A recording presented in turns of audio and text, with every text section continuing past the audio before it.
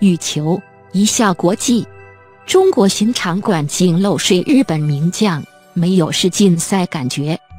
二千零一十八羽球世锦赛在中国南京火热开打，比赛场地昨天却出现前所未闻的漏水事件，而且还是在丹麦的世界球王安塞龙比赛时发生。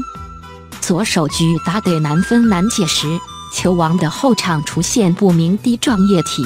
不止比赛被迫中断，移至其他球场，还连带影响到在正在其他比赛的球员。日本名将山口茜就苦笑说：“没有是禁赛的感觉。”比赛场地：中国南京青奥公园体育馆，是去年下半年才竣工启用的新场地。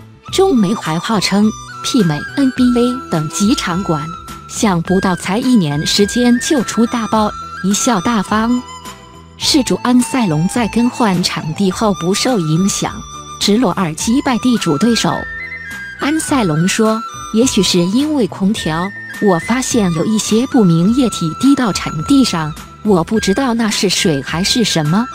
我当下只知道这很危险，我们不能在那继续比赛了。”然而，正在进行移动作业时，日本女将山口茜正在隔壁第二场地进行比赛。她接受日媒采访时苦笑说：“一直觉得乱哄哄的，没有世锦赛的氛围，就觉得竟然还会有这样的事发生啊！”昨晚大会在官网解释漏税原因是由于南京连日高温达摄氏三十五度，室内温差控制在二十三度。